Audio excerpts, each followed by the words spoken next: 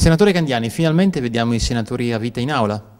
Eh certo, c'era votare la fiducia al governo ieri e c'era votare oggi la decadenza di Berlusconi.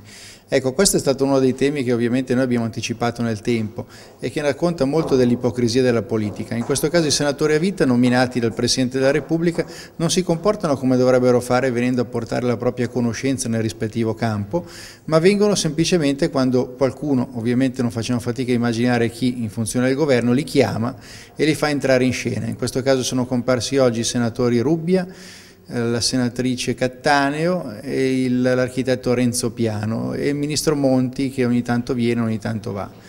La cosa che è stata anche abbastanza incredibile è che ciascuno trovato, poi ciascuno di questi senatori a vita ha trovato tra i, senatori un proprio difensore, tutti tranne uno, Renzo Piano.